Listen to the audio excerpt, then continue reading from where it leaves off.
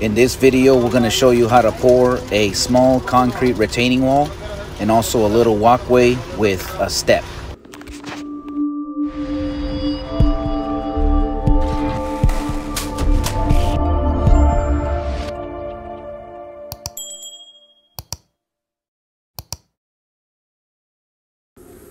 These are the forms that we set up a few days ago.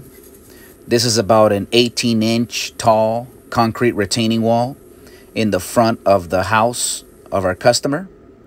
And this is the little walkway with a step down that leads to the street.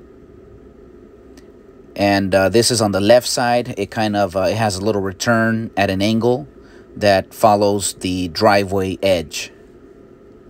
So this uh, inside, we have the rebar that you see right there. We have the rebar every uh, 48 inches verticals. And then we have the horizontals. So right here, we're starting to pour the walkway. Now this concrete, it has color added to the mix. It's like a dark gray color. So we start by pouring it straight from the truck uh, right into there. And then we start screeding so this is the little wood board. Uh, it's we're using that as our screed, and that is designed so that way we can pull the concrete from one uh, one edge of the form board to the other edge, and that makes sure that we get a nice um, even surface, so it follows the uh, the form. And right here, uh, we're also getting our hand float and we're floating the edges. Also, if we have any concrete that's needed, we'll put it in there. So there you see, you know, straight from the concrete truck. The nice thing, you know, they're able to just give us a little bit as we need. So not too much, not too little. And that's pretty much the process, you know. We just start pouring the concrete. We move it around there with our hand floats. Make sure that everything is filled in. We have a nice um, level and then we do the screed and then from here we're also pouring this this uh, little retaining wall. Now the wall it's not the concrete it's not going to go all the way to the top of where you see the forms. It's actually gonna you see how there it's a little lower. We have some nails um, every like so far apart. And the nails is kind of like our guide that that will give us the surface um, level. So we're just kind of, uh, you know, taking the truck little by little. We're just pouring, um, just, you know, pulling it in there as we need it. And then we're just guiding the truck, telling him, you know, to move forward. And, you know, that's kind of the process right there.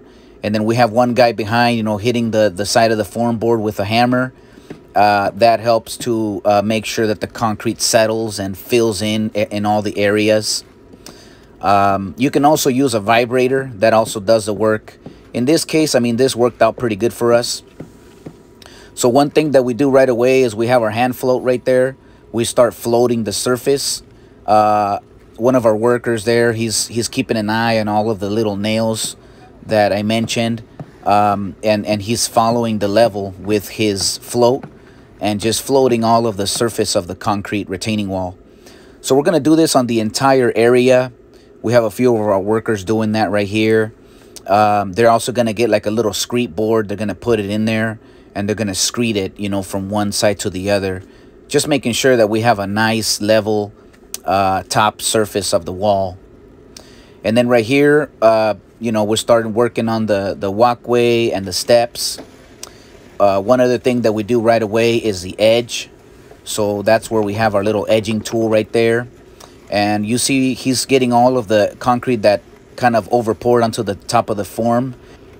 So we basically are pressing in that um, edging tool all along the um, along the form board and we're creating a, a, defined edge.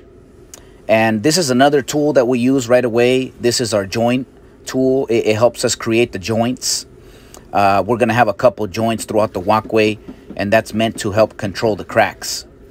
And then um, we have our trowel tool right there. So we're going ahead and, and smoothing out the concrete on the surface just uh, giving it a pass on all of the area. And then that's our joint tool right there. We're you know pressing that into the concrete. It has a little divot in the center. And see that helps create the the joint. Um, And uh, since, you know, concrete, when it dries, it expands and all that, it, it tends to crack. So this is why we have to have these joints ever so often. So that way it creates like a weak spot in the concrete and the concrete will crack right there. So, uh, and then, you know, we have our trowel right there. We're just going over all of the surface, making sure that everything is kind of smoothened out. Today is going to be a pretty hot day. I think it was going to be like around, um, like low 90s. So we're, we're doing all of this uh, right away. Um, you know, running the edger tool a few times throughout the process, running the um, the joint tool again, and and just making sure everything's ready. The step, that's a very important thing as well. You know, we remove some of the forms that are in the way, and we just start working the surface of the step. As you can tell, he has a little level right there. So he's checking the, the level of the step, making sure that it has a little bit of slope. Uh, it always has to have like a little bit of slope, you know, so that the water, any water that goes on the step will go like out, you know, towards the street basically. And uh, so he has his little hand float right there, little tools, the edger tool, working the edges as well. Uh, right here, you know, we have our mag float. We're just, uh, you know, floating the surface um, just getting it to the consistency that we need. Um, you know, running our joint tool again. So these are things that we do repeated throughout the, the process. Also, one thing that we do on the retaining wall that you have to do uh, pretty much, um, you know, after we pour is the edger. So we waited about maybe, you know, 20 minutes or so after we poured. And then, and then right away, you know, we start running our edger tool right there. Uh, and, and you, I don't know if you can tell right here very good, but when I was looking at it in person, it was it was creating a really nice edge. Actually, you can see right there. You see how it's kind of uh, right along where the form. It's it's giving it a nice edge there on the top.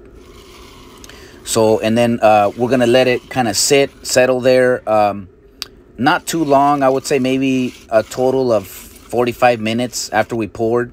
So that way it kind of sets in. And then we're going to remove the front face of the wall um, all along there so we can work the, the, the surface of the front, the face of the wall.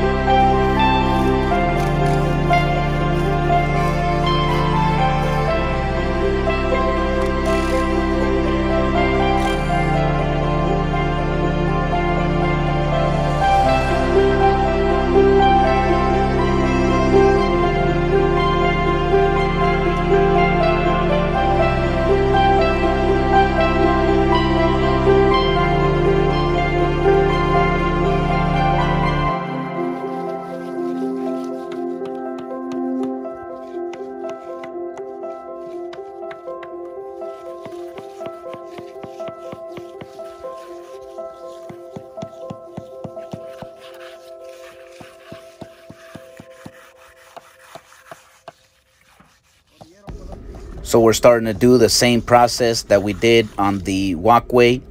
We have our hand floats. We have our edger tool, just working all of the edges there. You see he's, he's gliding that edger tool from one point all the way to the other. He has his trowel right there, so he's giving it that nice smooth finish this is after so the first thing that you know we start working the the concrete filling it in with our hand float and everything just prepping it and then afterwards you know we have this hand trowel that we just trowel the surface um, of all of the area that gives us a nice um, smooth finish and so this is kind of the process. We start removing the forms on one end. Then we have the middle part right here. He's working with the float, filling in the little, uh, you know, edge, the little um, honeycomb areas or whatever, just filling it in, smoothing it out, uh, like like right there. And then after that, you know, we have our other gentleman right here giving the, the edger tool, giving it the nice finishing touches. And uh, that's pretty much the process of how we work the retaining wall. This is how it ends it's looking right here after we already worked the edge. You see right there it's it's got a nice uh, crisp um, edge all the way through. And then we have the the front face of the wall has a nice trowel finish. So we're going to continue that process throughout uh, as well as working the steps making sure that everything is where it needs to be. So that's pretty much the process. Uh, right here we're just giving it the final details on the steps. And then he has that little um, hand brush right there just giving it the brush strokes on all of the faces of the steps on the surface on the sides and everything. Um, all of this concrete uh, the walkway and the steps is broom finish the rest of the wall is like a trowel finish so that's pretty much uh, the end result right there we're going to come back the following day to remove the backside forms clean up the project and we're pretty much completed with this work so we really hope you like this video and uh, please consider subscribing to our YouTube channel. We're going to be uploading a lot of different content of all of the pours and different work that we do. May God bless you, and we'll see you on the next video.